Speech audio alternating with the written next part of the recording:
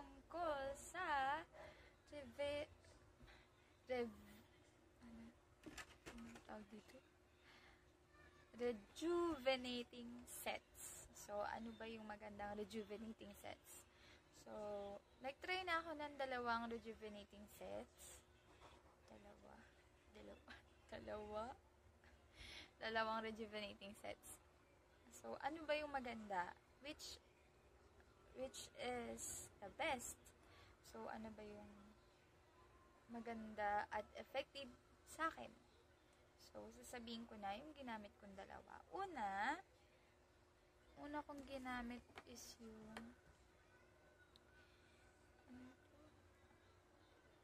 yung skin magical ayun yung kadenang gito set 1 set 1 so ayan meron siyang toner di ba pag rejuvenating set may toner may sabon may sunblock may rejuvenating cream and siya rin, may anti-aging pa siya so bali lima yung laman sabon toner, rejuvenating na toner. Yung cream, rejuvenating cream, anti-aging cream, then yung ano nila, sunblock. Okay.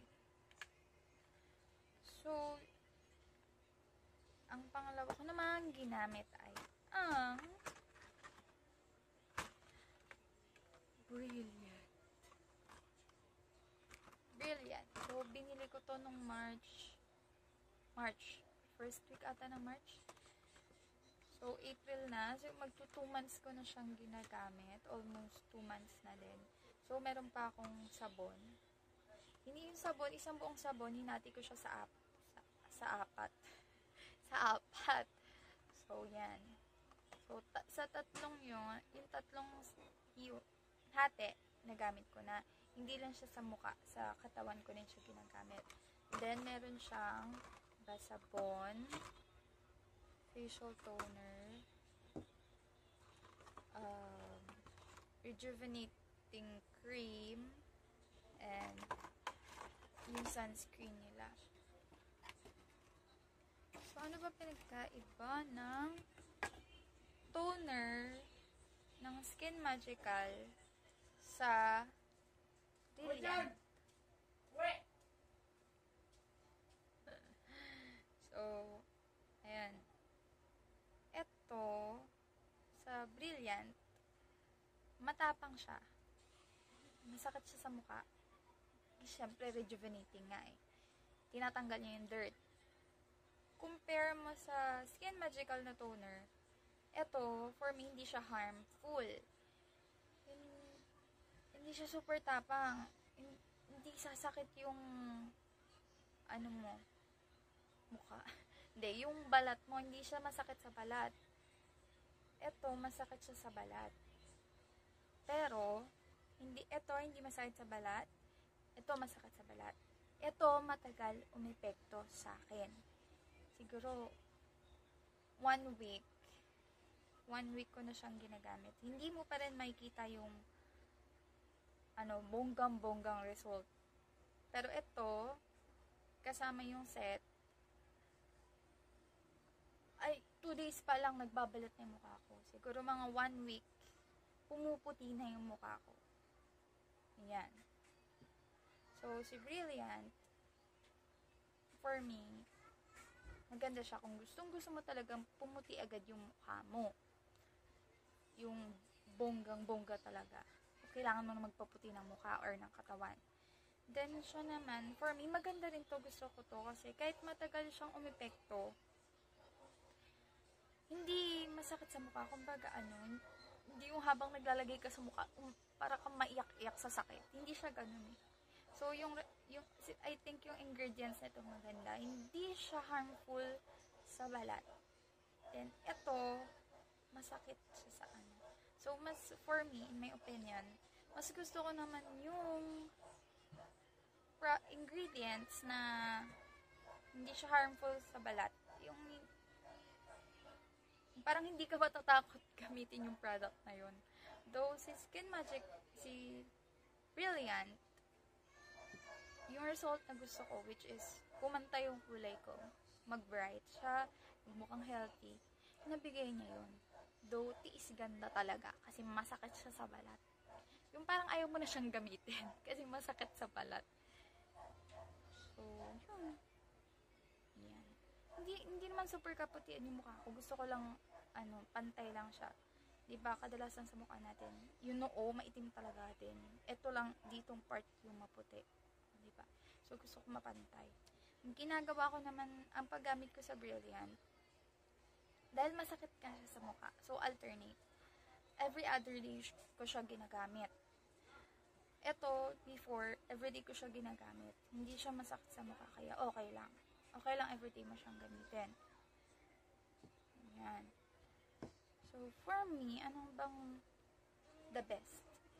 So, kung ikaw, dal- dalawa sila the best for me.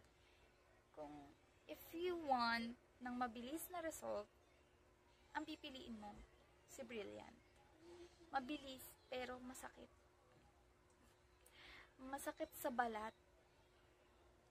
Yan. Ito, mabagal siyang umepekto sa'yo. Sa akin, sa balat ko. Hindi naman kasi pare-pares yung effect ng product sa atin. Iba-iba. Maybe sa'yo, mabilis siyang umeffect, sa akin hindi. So, for me, kung gusto mo nito, eto, maganda rin siya. Hindi siya masakit sa balat. Okay siya sa akin. Yung tipong hindi ka matatakot na gamitin mo or ipahid siya sa mukha mo ulit. Yan. Skin Magical. Tsaka for me, parang mas safe yung ingredients nito. Yes. Kasi hindi siya super sakit sa mukha eh. So, maganda yun. It's a positive sign ng product. Positive sign yun. Feeling ko kaya tumata masakit sa mukha, ang daming alcohol. Yun. Parang sinusunog, ganun. Pero puputi agad yung balat mo. So, yun. For me, mas gusto ko brilliant. Kasi, may pek, naku, um, kumbaga, yung gusto kong mangyari sa balat ko, na ibigay niya, agad-agad. Siguro 2 weeks pa lang magbabalat na yung mukha ko, tsaka hapding-hapdi na ako sa paggamit nito. Ayan. For me naman, Skin Magical, sorry, hindi siya effective sa akin. Ang tagal, ang tagal niyang umepekto. One of the the qualities ng product na to is, na nagustuhan ko yung hindi siya masakit sa mukha. Hindi talaga. Yes. So, ang nanalo ay ang Brilliant. So, sabi ko nga kung gusto mo ng mabilis, mabilis, mabilis na epekto ng produkto, mapumuti ang mukha mo, balat mo, brilliant ka kaagad. Pero tiis, tiis, tiis ganda kasi masakit sa mukha. Parang ayaw mo nang gamitin ulit kasi masakit siya habang ginagamit mo. Pero maganda naman yung result. Kikinis naman yung mukha mo, puputi. Hindi naman ako pimplesin or madaming pimples. Gusto ko lang um, pumantay yung kulay ko. At iniisa pa sa iniiwasan ko dahil ang lahi namin ay madaming pimples, so pine-prevent ko na din yun at gumagamit na rin ako nito. Baka biglang lumabas at at dumami. Yes. So, ito rin yung gamit ng kapatid ko, na si Gail. Siya, uh, mild lang naman yung pimples niya. Makita mo ang puti-puti. Puti-puti yung mukha niya, parang koreana na nga siya eh. Parang koreana. Ayan, diba? Hindi ako nakatingin sa, sa, sa camera. Nakatingin ako sa mukha ko. So, yes, for me, brilliant. Yes. So, that's it. So, brilliant versus the winner is huh, brilliant. So, that's all. That's all for today. So, hindi pa ako sanay mag-vlog, kaya hindi ako nakatingin sa camera. Oh, sa flash pa ako nakatingin. sa camera. Ayan, okay.